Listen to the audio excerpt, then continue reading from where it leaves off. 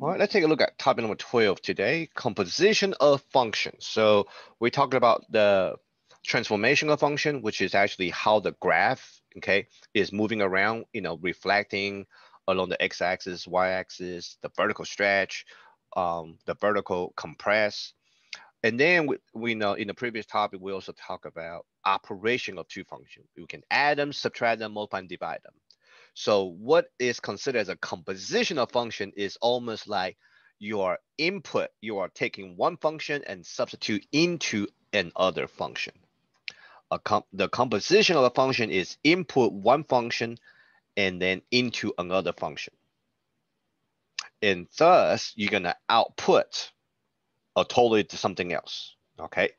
The compositional function is denoted as f of g. This circle is called f, OF, f of g, and is defined as f of g of x, which is denoted in this form.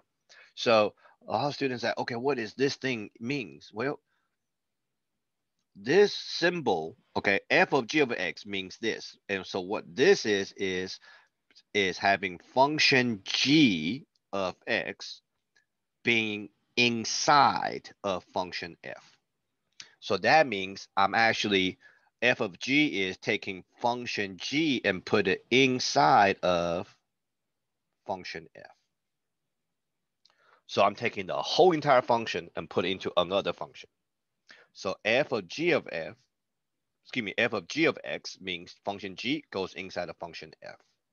So vice versa, if I see, if I show, if I say g of f of x, that means now function f will actually be inside of function g. So this will be f inside g. All right, so here is my function f, my function g. Write it out. This is simply write it out what f of g of x means. So f of g g um, f of g of x means function g gonna go inside f. So I'm taking my function g, which is x plus one, and substitute into my function f wherever I see an x.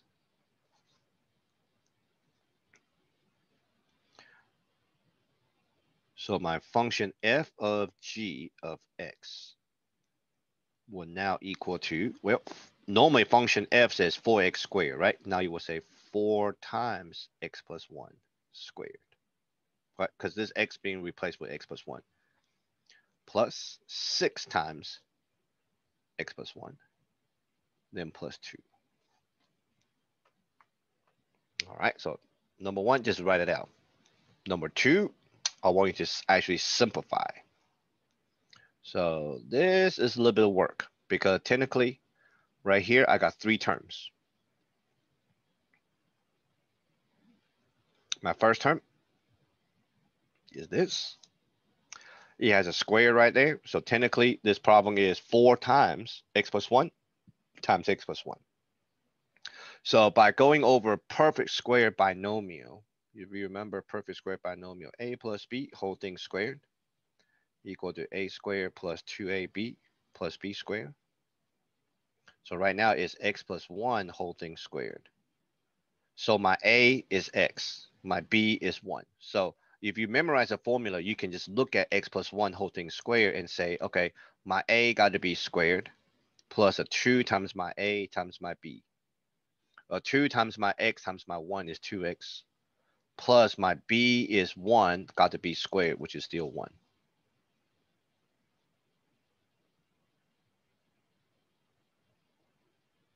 So technically, the 4 is actually going to end up multiplying the entire x squared plus 2x plus 1.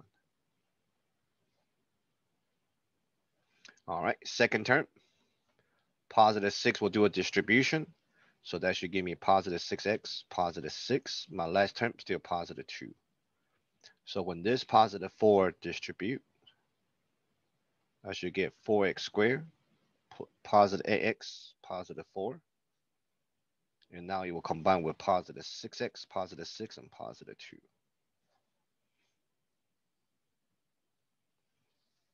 All right, so combine like terms. This is 4x squared. Um, ax, 6x combined, positive 14x. 4 plus 6 plus 2, positive 12.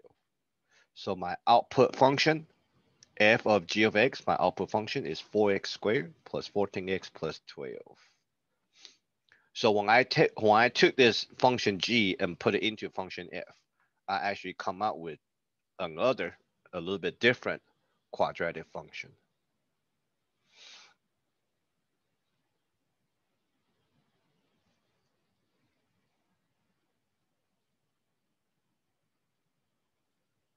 All right, let's look at another one. All right, let's write out f of g of x. Okay, so this means g go inside f. So I'm taking my entire function g and substitute into function f wherever I see an x, which is only right there. Uh, I know this is only one term, but since this x is being squared, when I substitute, I, I can put a parenthesis around the square root of x plus two because I because I have an exponent on, on the outside. So this f of g, oh sorry, this f of g of x now will become square root, replacing that x with x plus 2. But that x was squared, so this whole thing needs to be squared plus 1. So now number 2, I'm going to simplify this. All right, square and square root. So so so this plus sign right here means this is this first term, right? So within one term, you can say, okay, square and square root cancels out. I just end up with an x plus 2. But I still got my plus 1 on the back. So that will be x plus 3. All right, I'm gonna I'm gonna do this real quick, okay? Go to my calculator. Instead of graphing this simplified f of g, x plus 3, I'm gonna graph the original one. The original one after I substituted was parenthesis, oops, parenthesis square root of x plus two. So my calculator, when I type, when I press the square root, it automatically open the parenthesis for me. So I'm gonna close the parenthesis for the square root. That indicates that the two and the x is underneath the square root. Then I'm gonna close the parenthesis that I opened originally. I opened one originally for here. So now I'm going to close it so I can say square before I say plus one. So by looking at what we simplified down to, this is going to be a straight line. But not quite because if it's just an x plus three, this is a linear line, right? But this is actually not a whole entire line you're missing you're missing a lot of it because originally this is actually considered as a radical function. So if I were um, if I were it's a radical function in the x squared. That's, that's what's we, that's what's strange about it. If I would rewrite what I substituted, it was a x plus two whole thing squared plus one. So if you look on the table, you will notice anything to the left side of negative 2 is all the y value says error. Why is that? Why is that? Well,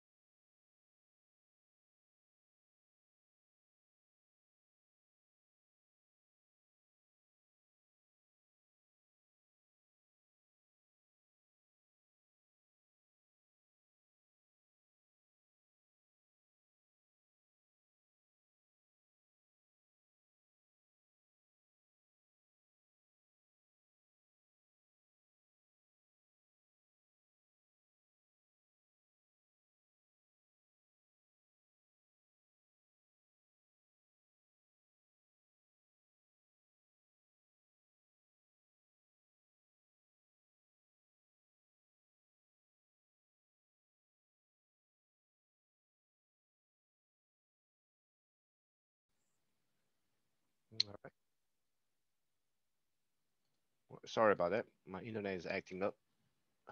Can you still see me? I hope you can see me. No, my share one share was on my screen.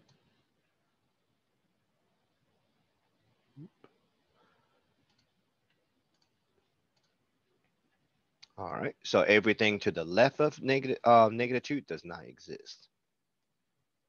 Okay, there's another way of what I'm showing y'all here. A lot of students will say, okay, to know the domain by hand, you set what's inside, you set what's inside um, the radical greater than zero and solve for x well, greater than equal to zero, excuse me.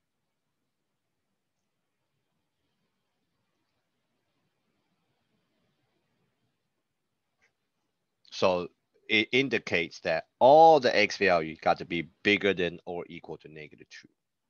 Okay, very similar to what I'm doing because when you can set it bigger than equal to, I mean, there's an equal right there. So you know, you know it's gonna be, you know, you know it's going to be bigger than negative 2. But here's the thing though, how would you know not to set it as x plus 2 less than equal to 0? Okay.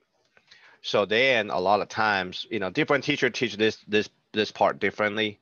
Um, some teacher will say, well, if there is a negative sign in front of that x, if there's a negative sign in front of that x, then you will need to set it as less than equal to less than equal to zero true, it is true, but the reason is if there was a negative sign in front of that x inside the inside the radical, if you graph it, it's gonna go the other direction. That's the reason why you set it as less than equal to zero. So that's the reason why I, I don't do it with the inequality. The way I do it is set whatever is inside the radical equal to a zero. So you so you know where your domain will begin or end. To confirm that, you graph it. The whole point was to encourage students to look at the pictures of the graph. So so what we do by hand makes sense. All right. So I want so I just want to show you that hey, even though we even though we we simplify this this function down to a linear, but it does not mean the graph is actually a linear function okay? Because linear function is a straight line and I'm missing the other half of the line. All right, I'm gonna do this vice versa. This time I'm gonna do g of f. g of f means function f now go inside function g. All right, so let me erase up here. So now I'm gonna take function f substitute into function g. Wherever I see an x. So g of f of x will now be square root of x squared plus 1. I can put the x squared plus 1 in the parenthesis, but since there's really no no other number in front of that x or exponent to for me to do any distribution, then I don't really need a parenthesis to protect those two terms, plus two. All right, number four, simplify it. So once I simplify this, only thing I can do is combine like terms in there. Because this cannot be split apart. This square root of x squared plus three does not equal to x, uh, square root of x plus square root of three. It does not equal to that the only time you can split a radical into two parts if it's multiplication. So if I have, so we, we might have reviewed this before. If you have a 3x square, because this is only one term inside the square root, inside the radical, then you can split up this into two separate parts. But it had to be multiplication. It had to be one term underneath the radical. So if you got more than one term, you cannot split them. That goes together. All right, so that's all you can do is combine the one and the two. All right. All right, let's try another one, okay? I want you to write function f of x as a single term. So I mentioned this before.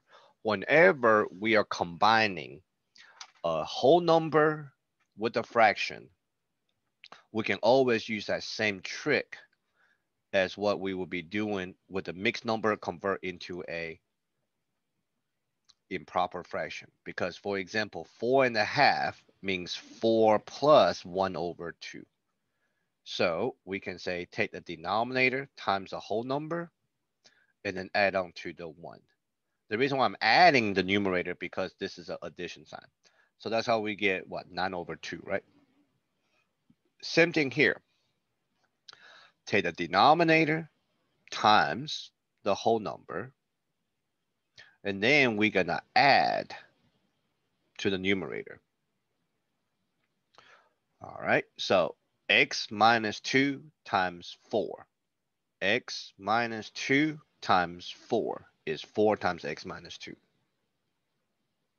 Because it's a 2 term times 1. So I got to kind of put them in the parenthesis. Plus x, plus my numerator x. Whole thing over x minus 2. Right, that's still my LCD. So to write f of x as a single term, now once I take the denominator times the whole number plus the numerator, all I'm gonna do is simplify the top a little bit. So if you want, you can simplify the top on the side. All right, four, four will do a distribution. Four times x, four times negative two, that'll be four x minus eight. Still plus x. Combine like terms, that should give me five x minus eight. Still over x minus two. So that's how we go from two terms into one terms quickly. Number two, write g of x as a single term. So same thing, take my denominator times the whole number, then plus the numerator.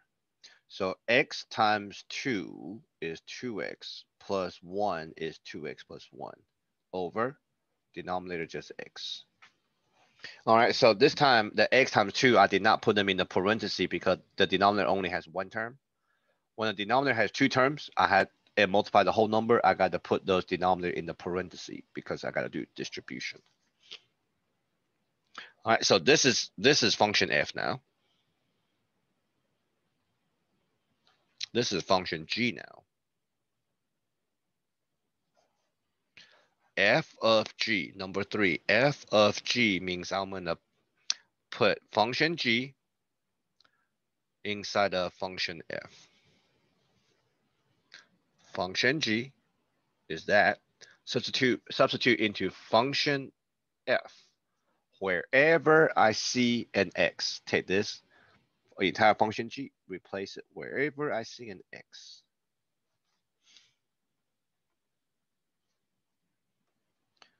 So my f of g of x now would look like phi no, function f normally says phi times x. Now phi will actually multiply the function g minus 8 whole thing over. All right, this x is now replaced with 2x plus 1 over x and then minus 2. That's what it will look like. All right. So now this thing, what you're looking at is called a complex fraction. Okay. I don't know if I reviewed complex fraction before. Um, I don't think I did because I mentioned it. I will actually talk about it when we get to it. So now the way how you're simplifying a crazy thing look like this, there are two technique. Okay. One of them is actually multiply every term of your of your expression by the LCD. So you got to find the LCD first. Okay. You got to find the LCD first. So the way how you find the LCD is look at the denominator. You remember, watch out now that all the exponent, you don't have any other exponent than one. So this x is x to the first power. This denominator, the LCD I'm looking for is right here, right here. That x is to the first power. This x is to the first power. So your LCD is simply just x. Okay. Now we want to multiply every term by x. Okay, every single term multiplied by x. So what I mean is if you look up on, on the numerator, The numerator, here's a subtraction sign. So the first term on the numerator is all this. Okay, this is only one term. Now that one term will times by x. And why do I times by x? So that denominator will cancel out. So in a way, I'm finding the LCD so I can clear the fractions. I can clear the fractions within the fractions. Second term, negative 8 will times x. First term in the denominator times by x. This is the first term denominator that will also times by x. The second term, the second term in the denominator will times by x. Okay, so what does it multiply by x do? Well, if you take the first term times by the LCD x, the x means x over 1. So the top x, bottom x will cancel out. So the only thing you got left is the 5 times the 2x plus 1. Second term, negative 8 times now what times x will be negative ax over, all right, LCD times the first term down here, that x means x over 1. Top x, bottom x cancels out. Only thing you got left is simply 2x plus 1. All right, last term times by x, negative 2x. There you go. Look a lot nicer now. Simplifying the numerator and the denominator by distribution and combining like terms. All right, so I'm gonna distribute and I'm write it down here. So the numerator, 5 times 2x is 10x. 5 times positive 1, positive 5. Minus ax over 2x. 2x minus 2x actually cancels out. So you only end up with 1 in the bottom. So technically, this whole thing now just becomes 2x plus 5. So my entire f of g of x now simply becomes 2x plus 5. All right, so a lot of students say, well, that look like a linear function, but it is not. Uh, original, the original function, this original thing before I multiply by the LCD is actually the graph you, you know, it's actually the function you want to graph. All right, this is a whole, this is a big mess. Because if I will ask you, if I will ask you, what is the domain? Remember, the picture will look like a straight line, but what is what should be the domain? And if you said negative infinity to positive infinity, you will be wrong because it's not a straight line. It is a rational function. So one of the key thing about rational function is the restriction on the domain these x's cannot equal to zero because normally to find a restriction on the domain for rational functions, we set the denominator not equal to zero and solve for x. So we only know x cannot equal to zero. So the domain got to be from negative infinity all the way to zero using parentheses, right? Union, the other side of it, the other side of it got to be from zero to infinity. So this thing will look like a straight line, but actually you actually cannot equal to zero. Okay, so there's actually a little gap, not a hole. It just doesn't ever exist there. A hole, technically, a hole in a rational function, technically something got canceled out between top and bottom. But here it's just a straight line. The calculator will not even show you a hole, but there's actually not a hole, but there's a little gap. The function existed this way and function existed the other way. Okay. So that's why when we describe it using the, um, when we describe it, describing the domain, we have to know the restrictions. Okay. You got to find the restrictions. So I am not even to attempt it to graph this. Okay. This is a big mess. okay. Big mess. All right, let's go over the homework real quick. I'm gonna see if I can put it up real quick. Uh, topic 15. Let me see. Okay. So question number one is on the handwritten portion. So instead of asking you to type it out, everything, I think writing it down is a little bit easier. All right, so just like what we did, um, write the f of x as a single as a single term. So I need you to take the denominator times the whole number, then plus a nine. And then once you roll it out, simplify it, you'll look something like this. Earlier, my example was using two plus, I think. Two plus one over x. So it doesn't matter what, doesn't matter if it's a plus or minus. You do the same thing, x times one, right? Denominator times the whole number. This time, instead of adding a numerator, you will have to subtract your numerator. So that'll be x times one, which is x, and subtract your numerator, minus three. So, that, so that'll just be x minus three, right? x times one minus three, x minus three over x. So that's the, that's a single term for number two. Then I want you to write out f of g of x. So that means I want you to take function g, substitute into function f, wherever you see an x. So you will look something like this. All right, but this one is tricky because the example I just show you, I keep on saying, I keep on saying right here, this x, right, denominator, right, this x, that this x is what I'm looking for as a LCD. But I, I, I mentioned it, this x is to the first power, right? Because right now this parenthesis outside is to the first power. But on the homework, on the homework, this is a square. So technically, this this denominator is x squared. This is x to the first power. That's x to the first power. So what should be your LCD? If you have x squared, x and x, what should what should be your LCD? Remember, find the LCD means what? We got to count the repeated factors and the non-repeated factors. So out of the three denominator, one is x squared, the other two are x. If you count the repeated factor, that's x. If you also count the non-repeated factor, that's another x. So your LCD here got to be what? x squared. So now you're gonna multiply every term by x squared for number five. All right, then you will look something similar to this, which is this part right? Not so bad after I multiply everything by LCD. Okay. And then once you've done that, just multiply the top, simplify it for me. And that was it. That's all the homework. That's one questions. All right, so we'll end right here.